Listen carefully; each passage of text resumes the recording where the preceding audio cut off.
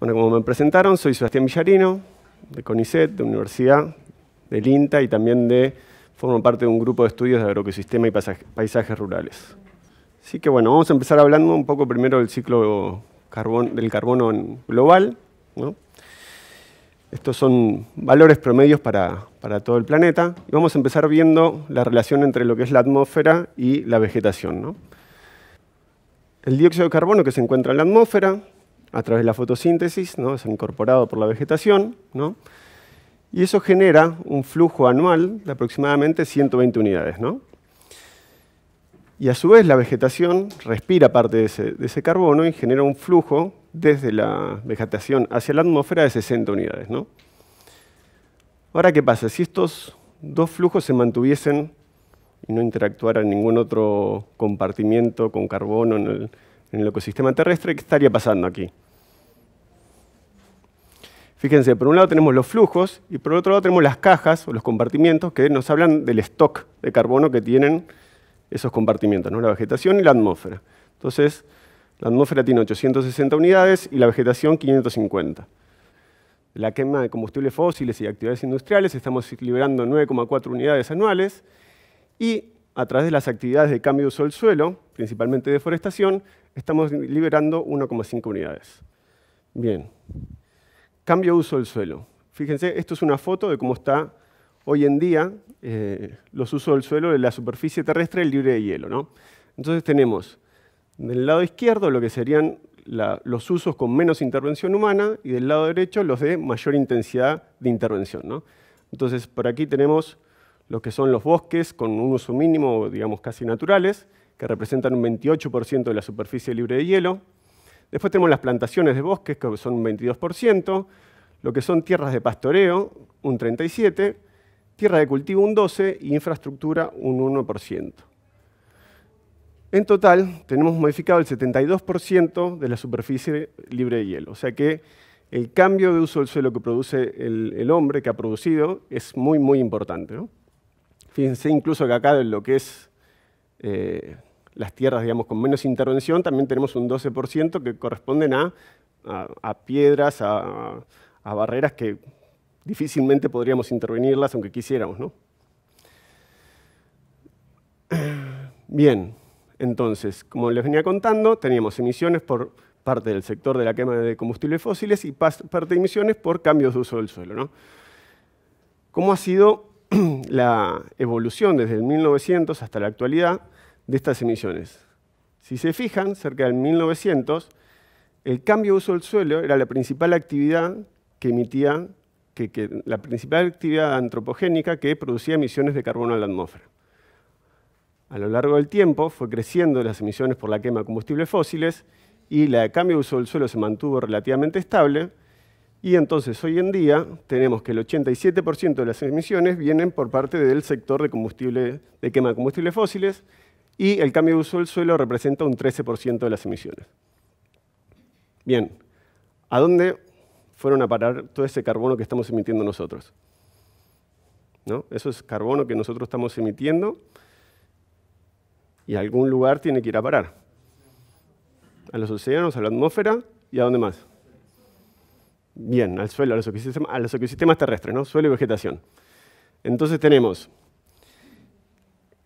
estos son el gráfico de emisiones y este es el gráfico de sumideros, ¿no? que muestra a dónde han ido esas emisiones. Entonces tenemos que la mayor parte quedaron en la atmósfera, un 46% de las emisiones, un 31% de las emisiones quedaron en ecosistemas terrestres, fueron absorbidos por los ecosistemas terrestres, y un 23% fue absorbido por los océanos. ¿no? Y si miran acá, no sé si alcanzan a ver la línea gris que se encuentra acá, es eh, el balance entre lo que estiman los sumideros y lo que estiman las emisiones. ¿no?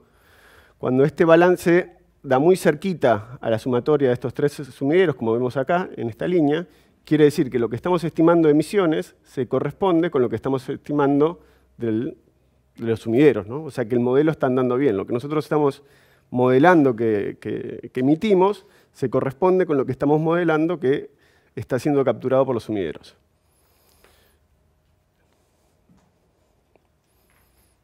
Bien. Entonces ahora yo también tenía un videito para mostrar. Eh, este es un video que muestra para un año cómo, varía la concentración de dióxido de carbono y de monóxido de carbono en todo el globo. Yo quiero que lo voy a poner play ahora, que lo miremos y, fíjense, relacionen cómo va a ir cambiando acá las, los meses y los días del año y cómo va a ir cambiando las concentraciones de dióxido de carbono en la atmósfera. Lo miramos y después discutimos un poquito a ver qué les parece a qué se debe.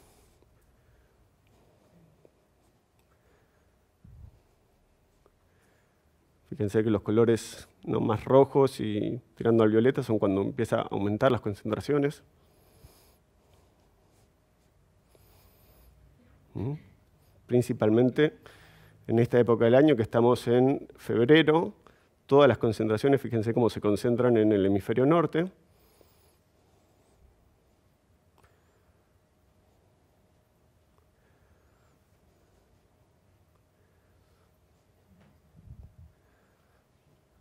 Esto sería nuestro verano y el invierno del hemisferio norte, ¿no?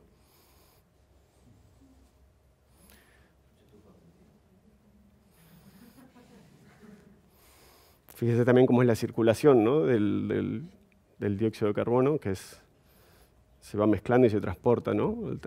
es, lo que uno emite en su lugar no se queda en su lugar, sino que va con la circulación atmosférica. Entonces, fíjense, a medida que estamos entrando en el invierno del hemisferio norte, ¿qué es lo que pasa con toda esta zona de aquí, con las concentraciones?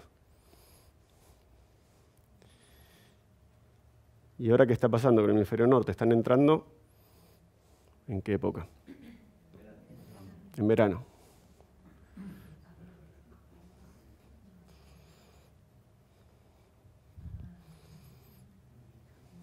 Fíjense cómo disminuyó la concentración de dióxido de carbono en el hemisferio norte y cómo empieza a aumentar en el hemisferio sur, ¿no? principalmente en África, en el sur de, en el continente sudamericano, en Australia. Va muy lento, yo me acordaba que iba un poquito más rápido el video.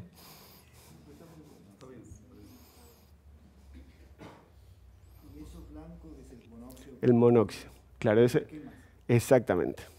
Eso viene del, acá nos adelantaron un poco, es eso. Todo lo que es de blanco de acá en la zona de África y del, de Sudamérica tiene que ver con las quemas que ocurren en, esa época del año, ¿no? durante el verano, primavera-verano.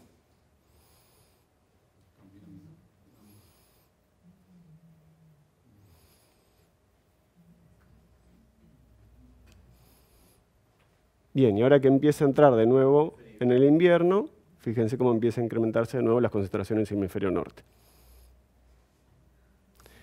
¿A qué les parece que se debe esa variación entre invierno y verano en las concentraciones en el hemisferio norte.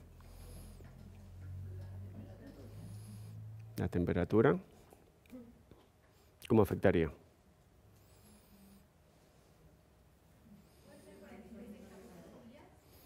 Tiene que ver con la vegetación. Exacto. Durante el verano hay mucha actividad fotosintética de todos los, bosques del hemisferio norte y eso están reduciendo, están a través de fotosíntesis tomando el dióxido de carbono de la atmósfera, entonces se reduce la concentración. Y durante el invierno no, está el otro proceso, el proceso de descomposición y no hay, no hay fotosíntesis, entonces ahí se incrementa el dióxido de carbono. Y además que todo el hemisferio norte son los países que, como bien saben, más emiten, ¿no? Entonces eso también. Y el otro detalle era que Sí, por eso, pero lo que cambia, hace que no sea permanente, es la fotosíntesis y los bosques que están mucho más activos eh, durante el verano en el hemisferio norte. Es cierto. Pero esa, esa parte de la, misión que, realiza la industria es capturada por los bosques. Entonces eso hace que baje en el, en el verano.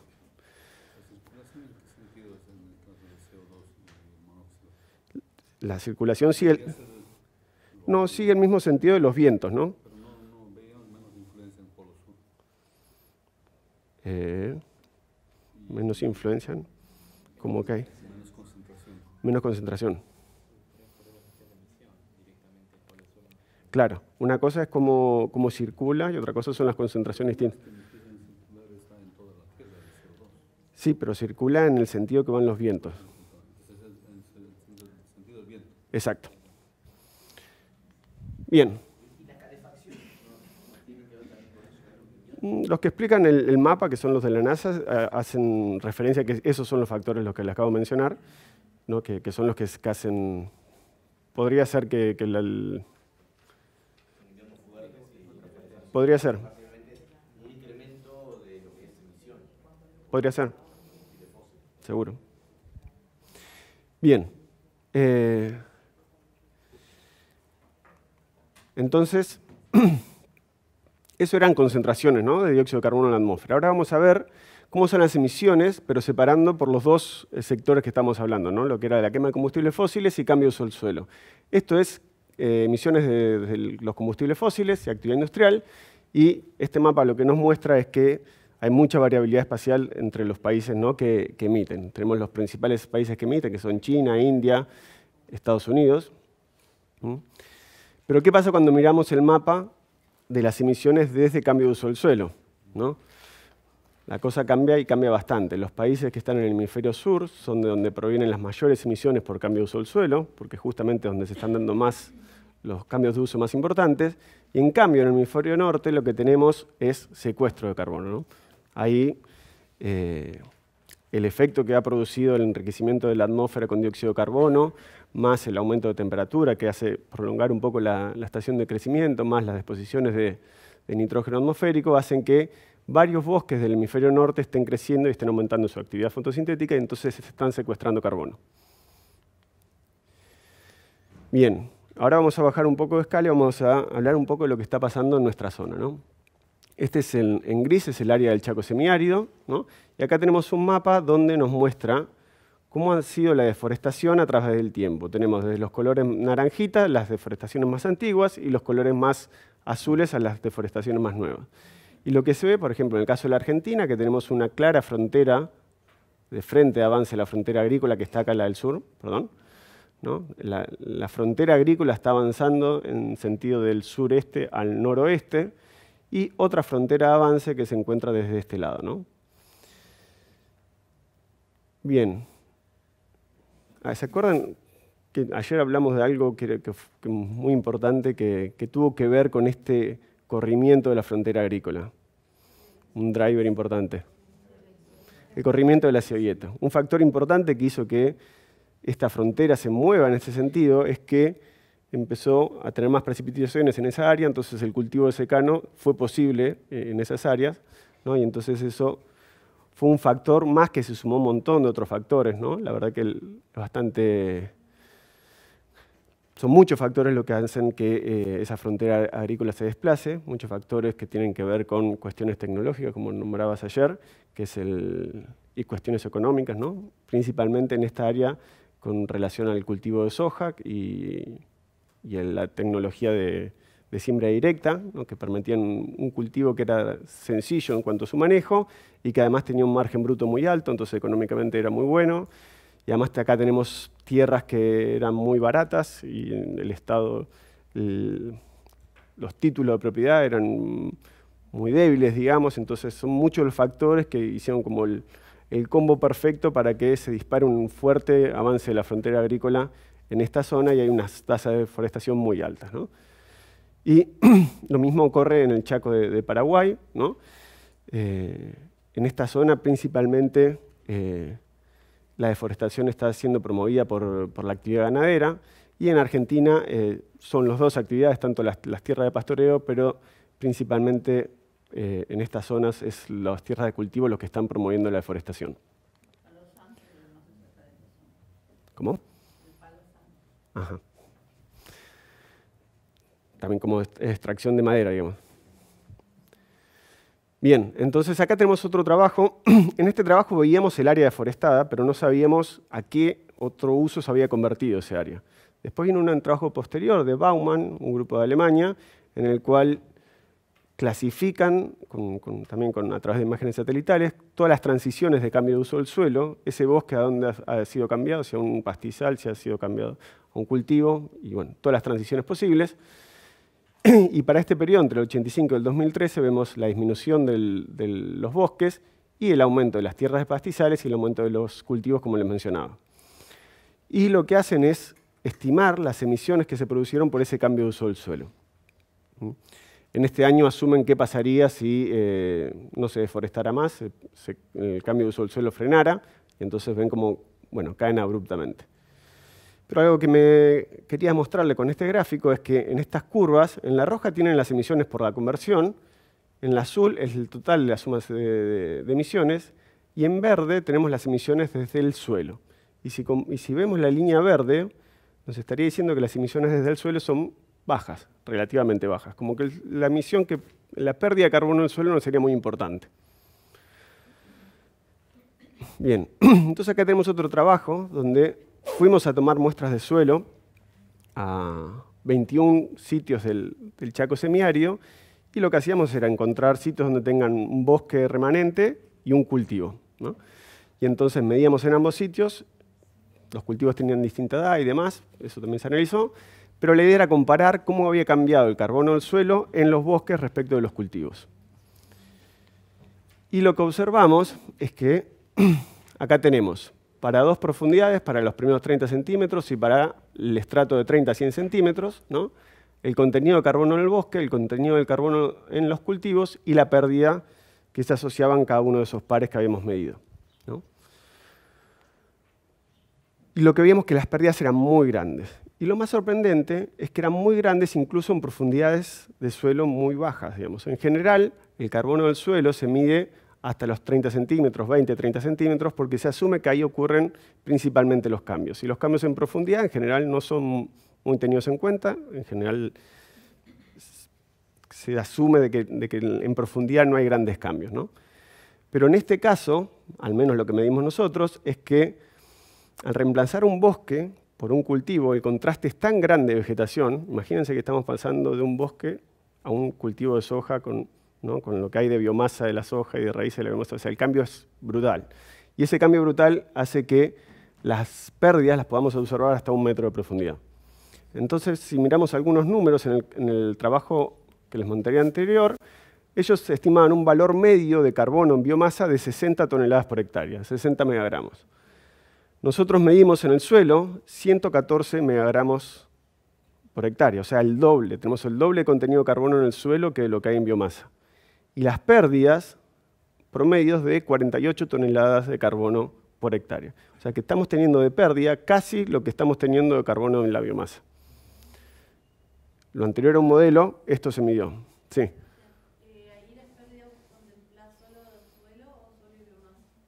Esto es solo suelo, solo suelo de 0 a 100, a 100 centímetros.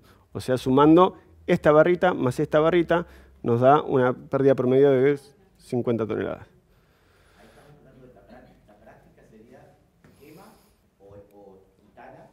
Ahí la práctica más común es topadoras con cadenas, hacen un cordón y después se quema el cordón de madera, ¿no? y ahí se libera el, el, lote y después viene la soja, o principalmente la soja.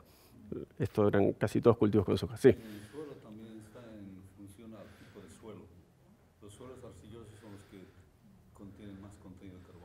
Correcto, ahí lo vamos a ver.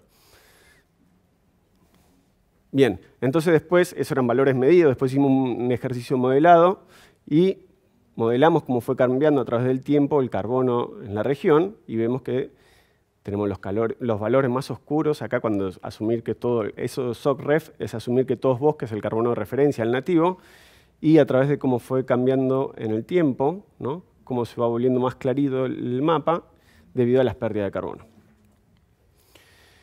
Bien, entonces, ¿qué es lo que sucede? Hay una parte que es fácil de ver para nosotros, ¿no? Todo lo que tenga carbono en biomasa, la productividad primaria neta, ¿no? Eso lo podemos ver, lo podemos medir bastante sencillamente, lo podemos ver con, con los satélites, ¿no? Este es un mapa mundial de productividad primaria neta.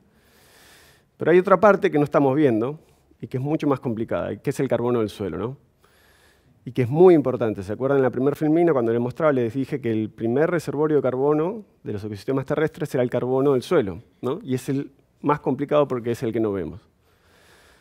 Entonces, ¿qué les parece? Si miran estos dos mapas, ¿se, parecen entre ellos o no? ¿Les parece que podríamos estimar con productividad primaria el carbono que hay en el suelo? El suelo es uno de los materiales más complejos de la superficie terrestre y es como una gran caja negra. Y acá tenemos muchísimas interacciones entre lo que es la matriz mineral, entre lo que es la, fauna, los microorganismos, etc. Y esto es lo que no podemos ver. Entonces, bueno, vamos a tratar de, eh, de ordenar un poco y de ver qué es lo que sabemos del suelo cuestiones bien básicas. ¿no? El suelo tenemos una parte que es eh, espacio poroso, ¿no? que ese espacio poroso puede, estar, puede contener agua o puede contener aire, y tenemos otra parte que es, espacio sólido. ¿no? Y dentro de los sólidos tenemos material mineral por un lado y por el otro lado tenemos material orgánico, ¿no? materia orgánica. La materia orgánica representa una proporción chiquita respecto del total del suelo. ¿no? Entonces, dentro del material mineral tenemos lo que es la textura del suelo, que es el, tamaño de partículas que componen ese material mineral, ¿no? arena, limo y arcilla. La materia orgánica que ahora vamos a ver. Y por el otro lado tenemos el espacio poroso que va a estar determinado por la estructura que tenga ese suelo. O sea, el, suelo se va formando distintos tipos de estructuras y eso va generando una estructura en el suelo, ¿no? unas cuestiones de, propiedades físicas que estos bloques, estos arreglos que tienen, van dejando poros de distinto tamaño, ¿no? y lo que van a definir es espacio poroso que les, decía, que puede contener agua o aire dependiendo de la condición de humedad del suelo. Bien, y dentro de esas estructuras hay de distinto tipo, ¿no? Es tipo granular, prismático, etc. Pero no tiene sentido andar en eso. Bien, ¿por qué se diferencian los mapas? Alguien acá dijo por las salidas, ¿no? La materia orgánica del suelo también va a estar definida por un balance ¿no? entre lo que entra de carbono y lo que sale de carbono. Entonces, si estamos en un, ecosistema natural, las entradas van a estar fuertemente afectadas por la precipitación, ya que la precipitación va a determinar la productividad primaria neta. Y las salidas van a estar afectadas por la temperatura, porque la temperatura va a definir en gran medida la actividad microbiológica que tenga el suelo ¿no? y cómo se va a mineralizar esa materia orgánica, cómo se va a perder. Es así que en una revisión muy grande de Jovaji y Jackson, eh, donde revisaron una gran cantidad de artículos, encontraron que había una relación positiva con la precipitación y el contenido de materia orgánica y una correlación negativa con la temperatura. ¿Mm? Entonces, bueno, en el contexto de este curso y del cambio climático, vemos que si modificamos la temperatura o si modificamos el patrón de precipitaciones en el globo, claramente nos va a estar afectando este eh, balance de materia orgánica del suelo. Y otra cosa más, el dióxido de carbono. Como decíamos, esta atmósfera enriquecida que puede aumentar la, fotosíntesis de los, de los vegetales va a estar afectando entonces a las entradas. Bien, pero hasta acá no hemos hablado de qué es la materia orgánica del suelo ¿no? y cómo se forma. ¿Alguien sabe o tiene una idea de qué es la materia orgánica del suelo. ¿Alguna palabra? Vamos a seguir. Son todos los restos de vegetación. Muy bien. Sí. Humus también, ¿no? Vamos a dar la respuesta a través de la visión histórica de esta, de esta pregunta, de qué es la materia orgánica del suelo. Tenemos los residuos vegetales, descomposición, principalmente por fauna y exoenzimas, y estos compuestos pasan por un proceso de humificación y forman humus ¿no? a través de los microorganismos. Y esto es lo que nosotros tradicionalmente conocíamos como materia orgánica del suelo. Ahora, ¿qué pasa? ¿Cómo la estamos estudiando la materia orgánica del suelo? Nosotros hacíamos extracciones desde el suelo, ¿no? Vamos al suelo, hacemos una extracción, tenemos nuestro tubito de ensayo, teníamos un montón de moléculas orgánicas dentro de ese tubo de ensayo, y cuando las veíamos, todas esas moléculas orgánicas se, unían y formaron una molécula aparentemente muy compleja, y nuestra interpretación decíamos, ah, esta molécula compleja está en el suelo, es tan compleja que los microorganismos no la pueden degradar y por eso permanece por tanto tiempo. Porque la materia orgánica del suelo permanece por miles y miles y miles de años. Hay, con distintas técnicas isotópicas que pueden mirar materia orgánica del suelo, la edad que tiene ese carbono y es muy, muy grande, miles de años. Entonces decimos, bueno, entonces claro, estas moléculas tan complejas ya no las pueden degradar los microorganismos, entonces, y a eso lo llamamos las, el humus, ¿no? las macromoléculas esas. Con el avance de la tecnología hemos podido realizar mediciones in situ, no, no hacer esta disrupción de tomar una muestra al suelo, sino que ir y medir con, con técnicas de resonancia magnética directamente en el suelo. ¿Y qué es lo que se observó? Que esta molécula no se encontró nunca, nunca se pudo ver. El suelo estaba principalmente formado, las moléculas orgánicas, por moléculas simples. ¿no?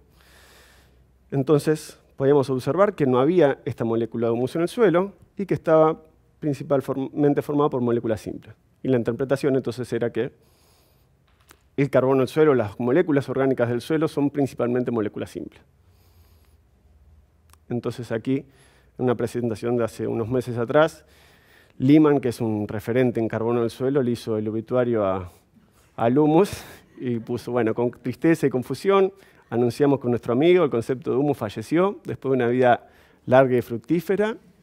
Llegó tan lentamente que apenas lo notamos, pero de repente el concepto de humus desapareció. Hemos aprendido mucho de él y lo extrañaremos. Así que bueno. Liman. Bien. Así que el humus no existe. Ahora, si no existe, ¿no? y estamos formados por moléculas simples, ¿por qué permanece en el suelo? ¿Por qué no lo degradan los microorganismos? ¿Por qué por tanto tiempo puede haber carbono en el suelo siendo moléculas simples y los microorganismos no, no lo degradan? Veamos un poco tenemos los residuos vegetales, ¿no? los compuestos que ingresan al suelo, los microorganismos y estos compuestos que interactúan con la matriz del suelo. Y de esa interacción surgen lo que llamamos mecanismos de protección, que hacen que la accesibilidad de estos microorganismos a los compuestos no sea posible.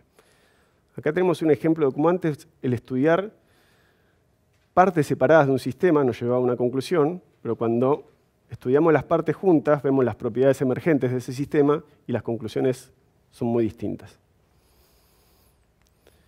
Bien, ¿qué son esos mecanismos de protección?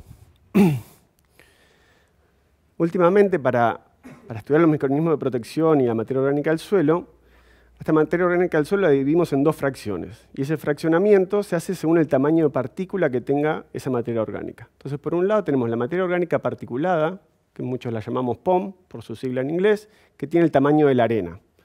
Y por otro lado tenemos la materia orgánica asociada a los minerales, MAOM, que tiene el tamaño de limo o de arcilla.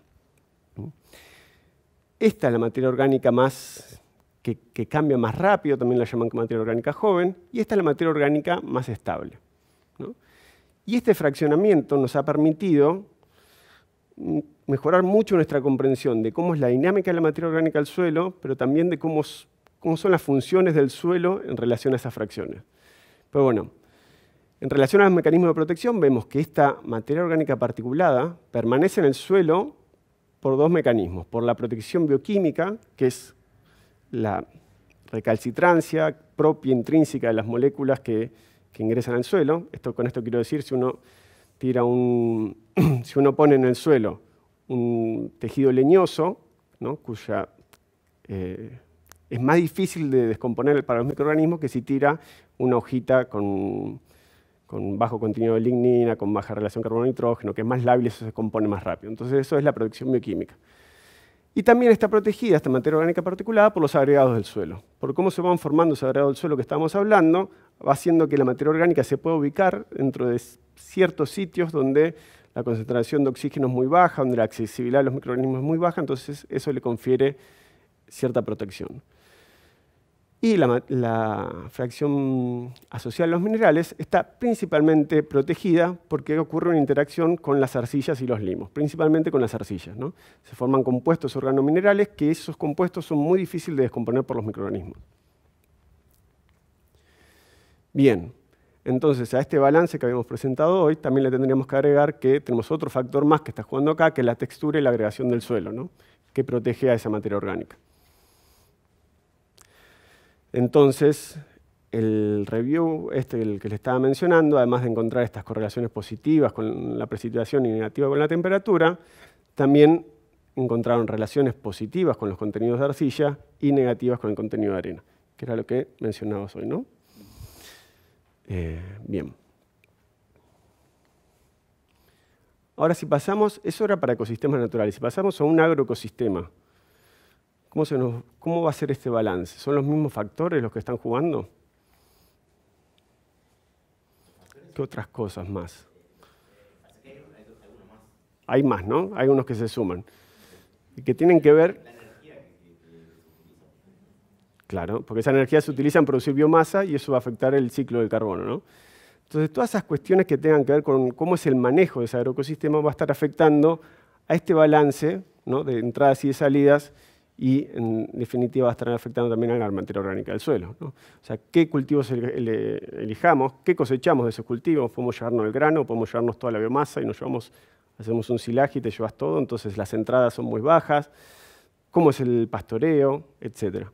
Y lo mismo para las salidas, ¿no? Si estamos si laboreamos el suelo frecuentemente, vamos a favorecer a que se produzcan más salidas, ¿no?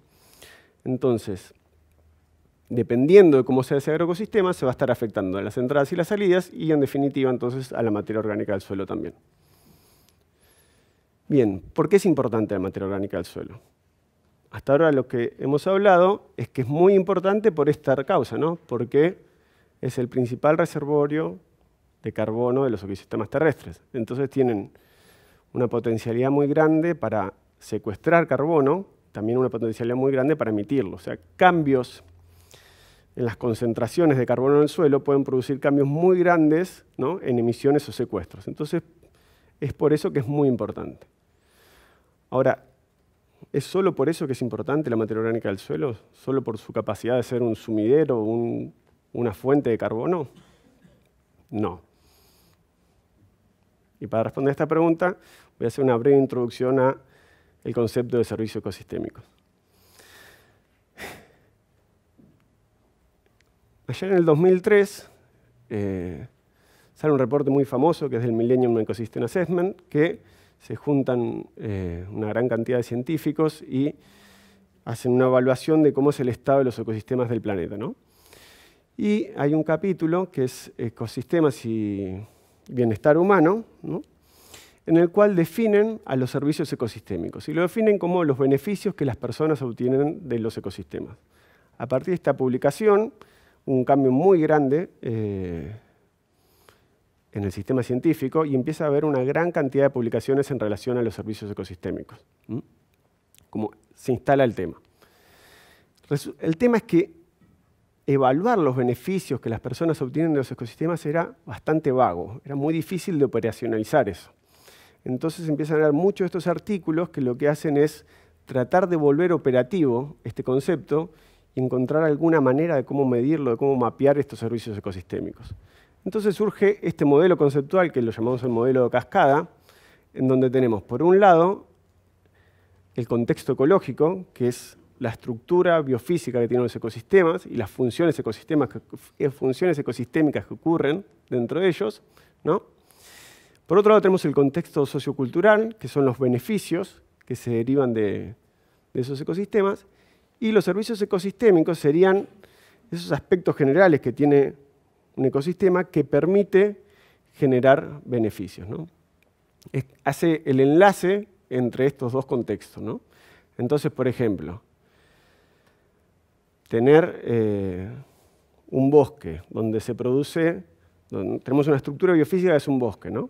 Tenemos unas funciones ecosistémicas que pueden ser infiltración de agua, almacenamiento de agua, y esa estructura y esas funciones ecosistémicas hacen que ese paisaje tenga un determinado servicio ecosistémico que puede ser la regulación hídrica. ¿no?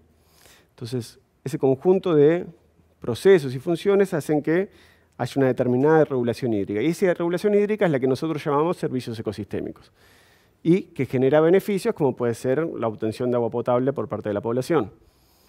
¿no? Y en función de cómo la población valore esos beneficios, va a retroalimentar el sistema y va a generar distintos tipos de presiones sobre el ecosistema. ¿no? Va a mover el ecosistema hacia un lado, hacia el otro, en función de cómo se valoren esos servicios que son percibidos por la sociedad. Esto aplica para cualquier, es un marco conceptual y en general que sí aplica para los agroecosistemas y uno podría usar este modelo conceptual para medir servicios ecosistémicos dentro de un agroecosistema. ¿no? Y justamente por eso se genera esta presión para que haya más agroecosistemas, ¿no? Por cómo valoran bueno, es bien complicada la cosa, ¿no? ¿Quiénes tienen eh, la capacidad de, generar esta retroalimentación, ¿no? Pero muchas veces pasa que el beneficio de la cosecha de cultivos y etcétera es muy valorable económicamente, es tangible, entonces se genera una presión para que el sistema se transforme hacia agroecosistema. Bien, entonces acá tenemos el marco conceptual de IPBES. IPBES, para quienes no saben, es así como estaba, hablábamos del IPCC, que es un panel intergubernamental para el cambio climático. IPBES es un panel de Naciones Unidas para la biodiversidad y los servicios ecosistémicos. Definen a la degradación de tierras muy parecido, como lo define IPCC también, como la pérdida de biodiversidad, funciones ecosistémicas o servicios ecosistémicos. Entonces, fíjense, cuando pasamos de un estado que no está degradado, ¿no? aumentamos la intensidad de uso del suelo, ¿no? vemos como los servicios ecosistémicos se van disminuyendo. ¿no? Algunos de ellos y otros pueden ir aumentando, como es la producción de alimentos. ¿no? O sea que lo que vemos acá es que hay una relación de compromiso entre los servicios. A veces querer maximizar un servicio va en detrimento de otros servicios. Y acá es donde se generan los problemas, porque si uno pudiese tener una oferta muy alta de todos los servicios, no habría ningún problema, todos estaríamos contentos todo estaría bien. El tema es que a veces maximizar la producción de cultivos lleva a que se eh, disminuyan la producción de otros. Digo a veces porque esto no necesariamente tiene que seguir esta trayectoria, ¿no? pero sí es la trayectoria más, más común y la actual, ¿no? que la producción de alimentos haga que disminuya otros servicios ecosistémicos hasta que podemos llegar a un lugar donde cruzamos un umbral donde ya no producimos ni alimentos, ni servicios ecosistémicos, ni nada. Bien, y en este marco conceptual de servicios ecosistémicos, el suelo, varios científicos de la ciencia del suelo dicen que las funciones que, realiza el suelo, las contribuciones que tiene en la, contribución del suelo en general, en generar servicios ecosistémicos, no está siendo bien reconocida. ¿no? Como que un poco por esto que hablamos hoy, que hay parte que vemos y hay parte que no vemos, el suelo es un material muy complejo y no lo vemos, entonces muchas veces no es debidamente tenido en cuenta. Entonces, para proveer toda esta cantidad de servicios ecosistémicos asociados al suelo, necesitamos tener un suelo saludable. y la salud del suelo depende de tres indicadores básicos. Hay tres pilares fundamentales que hacen que un suelo sea saludable. Por un lado es la actividad microbiológica, la estructura del suelo y la materia orgánica del suelo. Y estos tres pilares interactúan entre ellos. La gran ventaja que tiene la materia orgánica del suelo es que es un indicador muy fácil de medir. Es barato y es fácil de medir. En cambio, las cuestiones microbiológicas y las cuestiones físicas del suelo son mucho más laboriosas y mucho más difíciles de medir. Por lo tanto, materia orgánica del suelo es considerado un indicador clave para medir cómo es el estado de salud de ese suelo. Entonces fíjense que no solamente tiene una relevancia por su capacidad de ser un sumidero o estas cuestiones de secuestrar o omitir carbono, sino que además es fundamental para proveer servicios ecosistémicos del suelo. Y como les comentaba, la tendencia actual es a que estemos degradando los suelos. Hoy en día tenemos un 25% de la superficie libre de hielo con suelos degradados. Entonces, volviendo al concepto este, al modelito de cascada, ¿no? que teníamos que esta estructura genera funciones y las funciones y la estructura generan servicios. Nosotros tenemos distintos modelos para poder ver cómo cambios en esta estructura, en este contexto ecológico, pueden cambiar la provisión de servicios. Entonces, si tuviésemos alguna medida de este, una medida biofísica del ecosistema, ¿no? que nos permita ver cómo cambios en esa, en esa medida me pueden producir cambios en la provisión de servicios. Entonces, una hipótesis es si medir el carbono, cuestiones relacionadas al ciclo del carbono, van a estar relacionadas al nivel de provisión de servicios ecosistémicos. Entonces, ¿pueden ser capturados la provisión de servicios por la dinámica de carbono?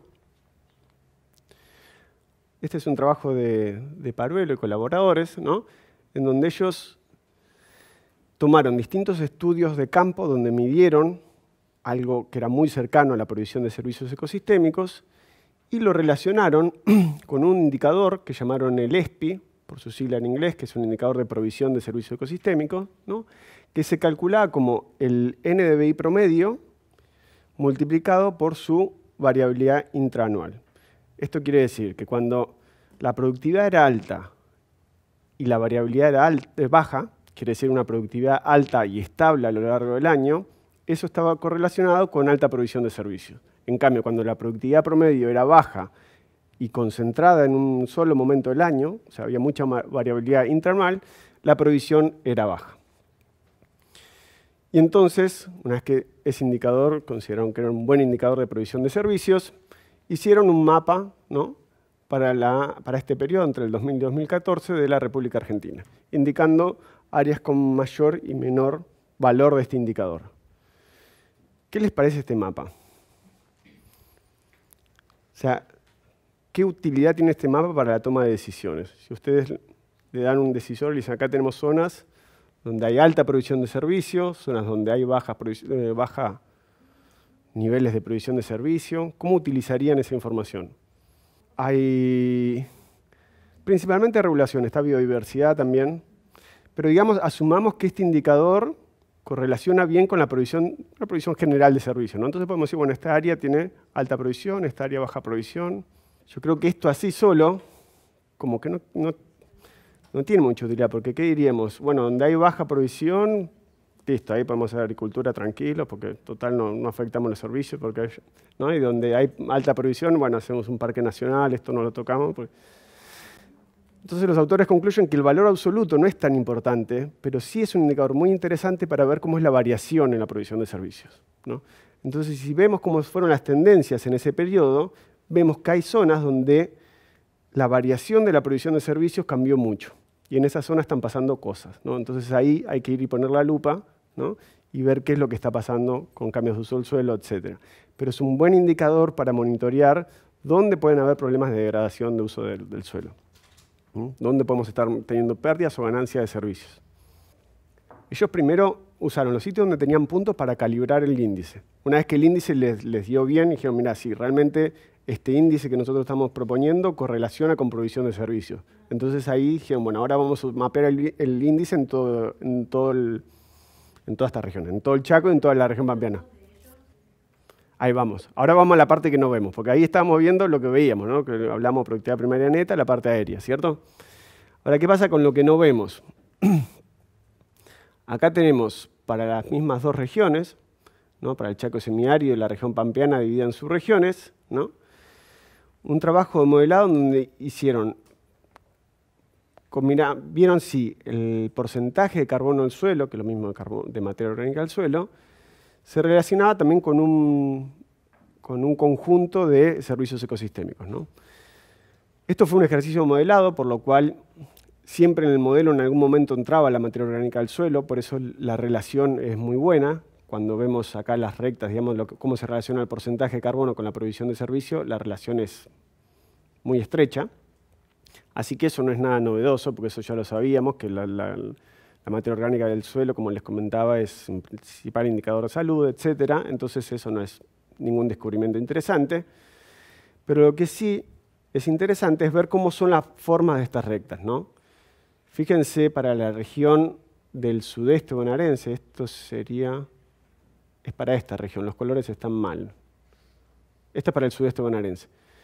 Y la amarilla es para el Chaco semiárido. ¿no? Si vemos cómo es la ecuación de esta recta, vemos que para el sudeste tenemos una pendiente de 0,17 y para el Chaco semiárido de 0,25. ¿Qué nos está diciendo esa diferencia de pendientes entre las rectas?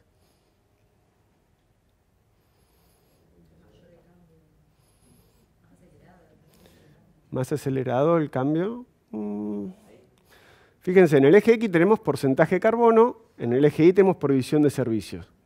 Una pendiente más alta entre la recta que relaciona estas dos variables, ¿qué indicaría? que por cada punto que yo me mueva de carbono, ¿no? si yo me muevo de 3 a 2%, si yo me muevo un punto, ¿cuánto estoy perdiendo de servicios ecosistémicos en una región y en otra? En esta región más, porque estoy multiplicando por una pendiente mayor. Entonces lo que me está diciendo es que la sensibilidad que tiene el carbono del suelo en la región del Chaco semiárido a perder servicios es más grande que la sensibilidad que tenemos en otra región. Tenemos ecosistemas que son más frágiles, más sensibles, que tienen contenidos bajos de carbono, porque además si vemos los contenidos son bajos y la provisión de servicios relativamente bajo, y además son más frágiles. Cambios pequeños me van a producir cambios grandes en la provisión de servicios. Entonces, este estudio lo interesante es eso, es ver las diferencias en la fragilidad ambiental. Sí. Son servicios ecosistémicos del suelo y tienen provisión de nutrientes, secuestro de carbono, regulación hídrica y me falta alguno más que viene acá, ¿ver? Son estos.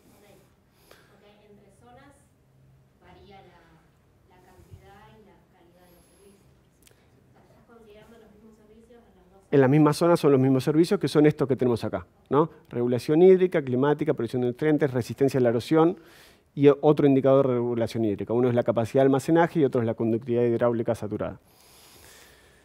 Y entonces acá tenemos como esos gráficos, como veíamos hoy, de provisión de servicios, como esos gráficos de flores o de estrellas, ¿no? Y como tenemos distintos perfiles según sea la región. En color naranja tenemos bajo cobertura natural y en color azul tenemos cuando esa cobertura natural es convertida a cultivos. Entonces vemos que la provisión es distinta según el ambiente y cómo se afecta esa provisión también es distinta. Bien, entonces ya para ir cerrando, cuando partimos de un ecosistema natural tenemos una alta provisión de servicios, pero probablemente una baja, una baja capacidad para producir alimentos. Y podemos convertirlos e irnos a un extremo donde maximizamos la producción de cultivos y llevamos al mínimo la provisión de servicios. ¿no? Pero ese no es el único camino. ¿no? También podemos ir a una situación donde intentemos buscar una provisión equilibrada de todos los servicios. Y entre estos dos extremos tenemos infinitas posibilidades. ¿no? Es cuestión de pensar y de ver cómo, como contamos hoy con las distintas prácticas de manejo, podemos afectar ese balance de carbono y entonces dentro de este rango nos podemos mover en sistemas, en sistemas productivos muy distintos. Los desafíos que, tenemos son los de producir alimentos, reducir emisiones y conservar biodiversidad y servicios ecosistémicos. Y para eso, eh, por todo lo que estuve comentando hoy, es fundamental conocer cómo es la dinámica del carbono, tanto en la parte aérea como en la parte subterránea. Y bueno, ya finalizando, ayer hablamos de los objetivos del desarrollo sostenible. Esto es una encuesta que se hizo dentro del panel, dentro de IPBES, ¿no? en el cual se le preguntaban cómo consideraban que contribuía la degradación de tierras a cuán importante era la degradación de tierras para alcanzar los distintos objetivos del eh, desarrollo sostenible. Y vemos que todos los objetivos tienen eh, están relacionados con la problemática de degradación de tierras y algunos en gran medida. ¿no? O sea que es fundamental para cuestiones de cambio climático eh, tener en cuenta el problema de degradación de tierras, porque ahí se produce como un feedback positivo, que es la degradación de tierras eh, promueve el cambio climático y el cambio climático promueve la degradación de tierras. Y entonces ese feedback positivo es lo que nos lleva a un gran problema. Entonces ahora le voy a hacer una pequeña introducción a cómo hace los inventarios de carbono del suelo el IPCC. ¿no? Y me voy a centrar en en el volumen de agricultura, silvicultura y otros usos del suelo. ¿no? Bueno, primero, a modo introductorio, el IPCC provee unas guías para realizar estos inventarios y dentro de estas guías dice que uno puede estar en distintos niveles de, eh, estimación de sus, de sus inventarios. El nivel 1 es el que te brinda el IPCC, te da unas ecuaciones básicas por defecto, que son muy simples y que entonces con esa información uno ya puede realizar sus inventarios. En el nivel 2 eh, son las mismas ecuaciones que da el IPCC, pero la diferencia está, está en que los factores los deriva uno a partir de la información local que tiene en su país. Y el nivel 3 ya no usa los, las ecuaciones del IPCC, sino que eh, un país puede, proponer su propio modelo, generalmente está relacionado con eh, modelos complejos de, cambio de uso del suelo detectado con, satélites y, y otros modelos biogeoquímicos que son más complejos, ¿no? entonces puede realizar su inventario con estos modelos y ya estaría en un nivel 3. el método por defecto que da el IPCC. Es un método de diferencias de existencias. Lo que hace es estimar el carbono en, un determinado tiempo, en el tiempo 2, estimar el carbono en el tiempo 1, hace la diferencia entre esos dos stocks, ¿no? lo divide por el tiempo del periodo y eso nos da la tasa anual de cambio de carbono, que puede ser secuestro o puede ser emisiones. Vamos a ver para el caso de carbono del suelo cómo hace ese cálculo. Entonces tenemos el carbono en el tiempo cero menos test, esto sería el carbono inicial del punto de partida, menos el carbono que, eh, perdón, el carbono que estimamos en un determinado momento, menos el carbono inicial, dividido de, ¿qué es tiempo de? Ahora les voy a explicar un poco mejor. Ahora, para estimar este carbono en un determinado tiempo, ya sea en el inicial o en el año que uno quiera calcular, usa esta ecuación. Y esta ecuación lo que dice es, primero hay que asignar un carbono de referencia, que sería el carbono nativo, ¿no? el punto de partida. Ese carbono de referencia lo vamos a multiplicar por un factor de uso del suelo, el FLU, que se va a determinar a qué uso se movió ese, ese, ecosistema nativo. ¿Fue un cultivo? ¿Fue un pastizal? Después por un factor de manejo. Y esto está relacionado a lo que habíamos visto en el balance. ¿Se acuerda que le decía, cuando estamos en un agroecosistema, además tenemos otras cosas que influyen en el balance, que son las cuestiones relacionadas al manejo. Y el IPCC lo contempla en este factor de manejo. Y después por otro factor, que es el factor del nivel de entrada, que ese es concretamente qué cantidad de carbono ¿no? está entrando al sistema. El factor de aporte. Bueno, y eso lo multiplica por el área que uno está queriendo estimar de ese cambio de uso. ¿Cuáles son los supuestos del modelo? Que el cambio que se produce es en forma lineal, que se lleva un equilibrio a los 20 años, ¿no? Antes a los 20 tenemos un cambio lineal y se llega el equilibrio y después ya no hay más cambios. Además asume que las pérdidas y la recuperación son procesos simétricos, es lo mismo la tasa con la que pierdo que la tasa con la que gano carbono. Y que además todos los cambios que se produzcan de carbono en el suelo son vía respiración microbiana y por lo tanto se convierten a CO2. Y que no hay proceso de transporte ni erosión y lavado de carbono. Bien, entonces, ¿cómo definimos este carbono de referencia? El IPCC nos da unas tablas donde tenemos una tabla de entrada, doble entrada donde tenemos, por un lado, el tipo de suelo, ¿no? ¿Se acuerdan que hablábamos que suelos más arcillosos tenían más carbono, suelos más arenosos menos? Está contemplado en estas columnas. Y por el otro lado tenemos en la fila las regiones climáticas. Entonces, depende en qué región climática y qué tipo de suelo nos encontremos, nos va a dar ese carbono de referencia que es el punto inicial de la ecuación. Bien, para definir cuál es el, clima y el suelo de un, lugar, tenemos estos árboles de decisión donde uno entra y le pregunta, bueno, ¿tu suelo tiene más del 70% de arena? Sí, no. Y vamos eligiendo y vamos pudiendo elegir las, categorías que propone el IPCC. Lo mismo para el clima. Después para el factor LU, el de Land Use, tenemos también una tabla ¿no? donde tenemos eh, este factor ¿Qué representa? Por ejemplo, puede ser un cultivo de largo plazo, dentro de qué eh, régimen térmico, dentro de qué régimen húmedo, y acá me da el valor de ese factor, el nivel de error y una descripción de qué, cómo es el uso del suelo ese que está representando ese factor, una descripción cualitativa. Lo mismo para el factor de manejo, ¿no? ¿Cómo es el laboreo en esa tierra de cultivo? ¿Es un laboreo reducido? ¿Es sin laboreo? Bueno, en qué tipo de temperatura, en qué régimen de humedad, me va a dar distintos factores. Y como por último, el factor de entradas. Bien. Acá tenemos el árbol de decisión para cómo, determinar eh, los niveles de entrada, ¿no? si son de entrada, de entrada media, entrada baja. ¿no? Como ven, es bastante sencillo, o sea, uno con, tablas y conociendo cuál es el cambio de uso del suelo que tiene en su país, puede aplicar esta fórmula con, un nivel de información mínimo. Este sería el nivel 1, ¿no? y que es el nivel más utilizado hoy en día por todos los países. Entonces yo les propongo que hagamos este ejercicio. Eh, las tablas esas que me comenté son las que tienen en el PDF que les pasaron ahí, por un pendrive. Entonces la idea es que apliquen la ecuación esa que vimos recién y que calculen en 100.000 hectáreas de bosque, ¿no? un bosque nativo en un clima húmedo tropical y en suelos de baja actividad de arcilla, se convirtieron en cultivos anuales, con labores convencionales, sin fertilización y donde se quitaban los residuos. Y la pregunta es, ¿cuál fue la variación del contenido de carbono luego de 20 años de aquel cambio en el uso del suelo?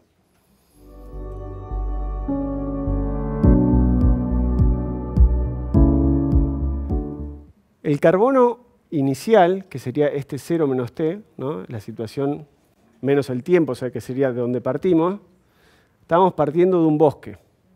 Entonces a ese carbono no había que aplicarle ningún factor de conversión, porque si íbamos al carbono de referencia, ese era el carbono del bosque. Entonces ustedes entraban por eh, tipo de suelo y por región climática y les daba un valor que era de cuánto del carbono de referencia. 47. Ese es el contenido de carbono en el bosque y es nuestro punto de partida. Ahora tenían que calcular este carbono, que era hacia donde se había movido el sistema, ¿no? Y después dividirlo de que D era 20. Entonces, para calcular el... Está bien. Este era para calcular el bosque, ¿no? Como no había ninguna conversión ni nada, los tres factores los podemos asumir como uno o directamente ese 47 toneladas era el carbono del bosque.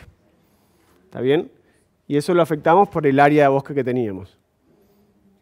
¿Alguna duda con respecto a esto? ¿Bien? Ahora, en el caso del cultivo, no íbamos a tener carbono del bosque. Había que cambiar ese contenido de carbono por los factores que me lo corregían. Entonces, si bien el factor de uso del suelo, ¿no? si asumíamos un cultivo anual, tendrían que haber elegido para esa región climática y para ese eh, régimen de temperatura ¿no? y de humedad les daba 0,48. Después eh, decía que era un laboreo convencional, que eso significa un laboreo total. ¿no? Entonces si entraban ahí por las tablas les daba 1. ¿Me van siguiendo más o menos? Y el factor de aporte uno podría haberlo asumido como de nivel de aporte bajo, porque en el texto decía que no era fertilizado, que se cosechaba todo. ¿no? Entonces podría haber utilizado un factor de aporte bajo y ahí calculamos. Entonces tenemos, estas eran las toneladas de, de carbono para toda la superficie con bosque y estas son las toneladas de carbono para toda la superficie con cultivo. La diferencia entre estas dos stocks te da el cambio de stock, si lo dividimos por el tiempo, nos va a dar la tasa de cambio por año, cuánto se está perdiendo de carbono. Entonces, simplemente era hacer esa resta, ¿no? El carbono que teníamos en el cultivo, menos la cantidad de carbono cuando estaba el bosque, dividido los 20 años, y eso nos tendría que dar una tasa de 131.224 toneladas de carbono por año se están perdiendo debido a esa conversión. ¿Qué les parece? mucho del carbono es cierto. Fíjense que cuando aplican un 0,48 están diciendo que la mitad del carbono original se está perdiendo, están aplicando un 0,5 de factor. ¿no? Pero además la metodología, ¿qué les parece esto de, las, de las tablas? ¿Qué impresión les deja? ¿Es fácil elegir qué factor? Sí, no. Se puede prestar para que alguien elija uno u otro. son, descripciones cualitativas, fíjense las categorías. ¿qué es un nivel alto de aporte? ¿Qué es un nivel medio? ¿Cuánto es bajo? no, hay, no, ningún valor que no diga de 5 toneladas para abajo bajo, de 5 toneladas para... No, son categorías cualitativas muy influenciadas por quien las interprete. ¿Está bien? De cómo voy a definir yo si eso es alto, si es bajo, si hay una orientación, hay... Pero bueno, es lo mejor que tenemos. Y si se fijan, también había una columna donde dice el rango de, eh, de error que tienen esos factores. Y si lo ven, el rango es muy alto.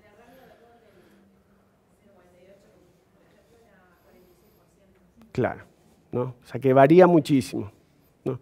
Con esto quiero decir que tengan cuidado que estas metodologías son para eh, estimaciones regionales, para países. Hay muchos que lo quieren llevar a un nivel de lote, a un nivel a un cultivo, y para eso no sirve. No tiene ningún sentido aplicar estas ecuaciones a una escala menor. Estos son para hacer inventarios nacionales en países. De todas formas, fíjense, volvamos, esto es el gráfico de eh, emisiones desde el uso del suelo, ¿no? En las líneas que tenemos acá en rojo y en azul son distintos modelos, son los bookkeeping models y los modelos de vegetación global, ¿no? Y todos andan alrededor de este valor de las emisiones por cambio de uso del suelo. Y este en el último informe del IPCC, que se publicó hace poquito, agregaron también cuánto serían esas emisiones si sumamos lo que reportan los países en sus inventarios. Y fíjense que todos los modelos andan por acá arriba y los inventarios andan por aquí abajo. Bien, o sea que estamos, parecería, reportando bastante menos de lo que realmente se está emitiendo por cambio de uso del suelo. Y esto está muy asociado a estas cuestiones que les digo, los niveles de incertidumbre son muy grandes esos factores y cómo se utilizan esos factores también es muy de acuerdo de quién es la persona que lo está interpretando y utilizando. No son categorías tan claras. Y con esto termino.